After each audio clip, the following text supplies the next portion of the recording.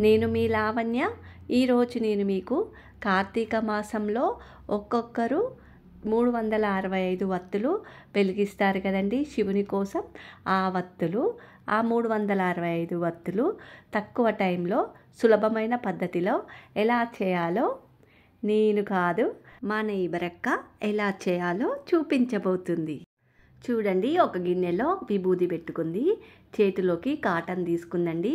కాటన్లో ఎలాంటి గింజలు లేకుండా తీసేసి ఇలా వేళ్ళకి విభూది రాసుకొని కాటన్ని ఒక చివర ఇలా పట్టుకొని దారంలాగా ఇలా చూడండి. నాలుగు వేళ్ళకి చుడితే ఐదు వరుసలు వచ్చే వరకు అంత పొడవు దారంలా తీస్తుందండి.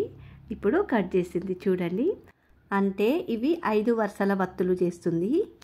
ఐదు వరుసల వత్తులు శుభప్రదం అని ఒక్కొక్క వత్తి ఐదు వరుసల చొప్పున మూడు వందల అరవై ఐదు వత్తులు. ఎంత ఫాస్ట్గా రెడీ అవుతున్నాయి చూడండి.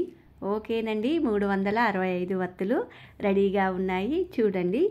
ఓకేనండి నా వీడియోస్ మీకు నచ్చినట్లయితే లైక్ చేయండి షేర్ చేయండి సబ్స్క్రైబ్ చేయండి. ఓకే.